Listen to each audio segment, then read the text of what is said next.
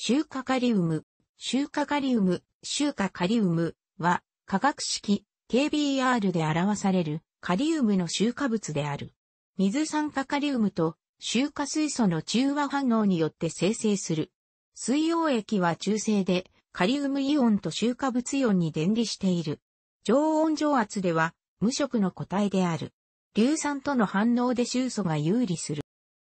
1800年代には、抗痙攣薬や抗不安薬として用いられていた。今日では、犬の治療薬として使われる。薄い水溶液は甘く、濃い水溶液は苦いが、ほとんどの濃度範囲では塩辛い味がする。高濃度の場合は、内臓の粘膜組織を犯し、吐き気及び嘔吐を引き起こす。近年になり有効な抗転換薬のほとんどない乳児重症ミオクロニー転換において有効性が高いことが明らかにされ、再び注目されている。典型的なイオン性の塩で水に溶けやすく、水溶液の pH は7である。臭素4元として写真フィルム用の臭化銀の製造に用いられる。臭化銅などの金属ハロゲン化け物と反応させると、削塩を形成する。伝統的な方法として、炭酸カリウムと臭化鉄の反応が知られている。臭化鉄は、水中で鉄くずと過剰の臭素を反応させて作られる。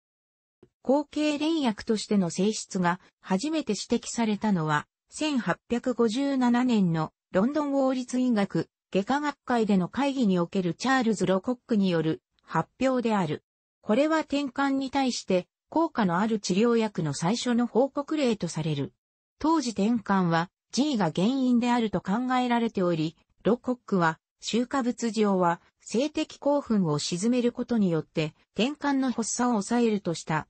1912年に、フェノバルビタールが登場するまで、転換に対して、臭化カリウムより優れた薬剤は存在しなった。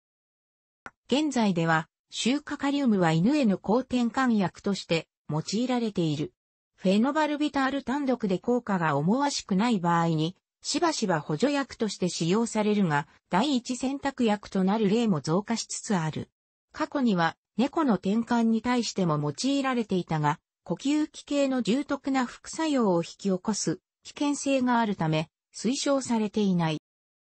アメリカ食品医薬品局は、人の転換に対する使用を認めていない。人への抗転換薬としての使用を認可しているのは、ドイツのみで、全身性、強直魔大性、あるいは小児期の大発作や、筋クローヌス性の転換を伴うなど、子供や青年特に重篤な症状に対してである。少年期、青年期にこの薬剤に対して陽性反応を示した場合、さらに治療が続けられる場合もある。ダイブロー、BE ものの商品名で販売されている処方のみ。適切な証拠に用いられれば確実に効果を表すとされる。完全な生物学的利用脳と6週間という長い半減期を持つ。1錠あたり 850mg の臭化カリウムを含む。他の抗痙攣薬の吸収や排出を阻害するという報告はない。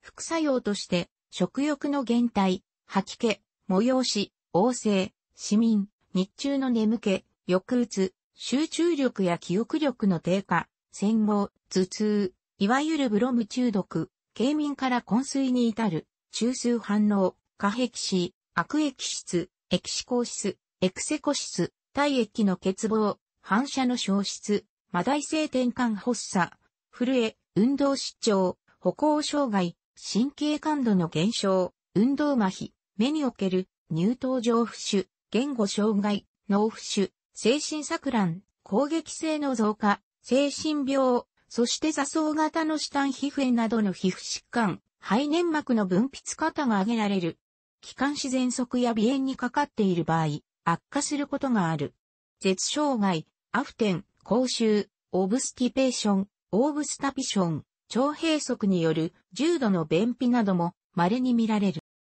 近紫外から遠赤外領域に透過性を持つため、光学窓やプリズムとして利用される。吸湿性、潮解性を持つため乾燥した容器中に保存する必要がある。屈折率は1.0マイクロメートルで約1.55である。赤外吸収スペクトルを測定する場合には、資料を臭化カリウムの粉末と混合し、ペレット状に押し固めて測定する方法がよく用いられる。臭化カリウムは測定領域内に測定の妨げとなるピークを持たない。また、固体核磁気共鳴分野においては、マジック核回転下での BR の信号が、マジック核からのわずかなズレに鋭敏に影響することと、共鳴周波数が C に近いことから、C 測定時のマジック核調整に用いられる。周かかりは、かつては銀塩写真において、現像処理に多用された。ブロムカリとも呼ばれる。楽しくご覧になりましたら、購読と良いです。クリックしてください。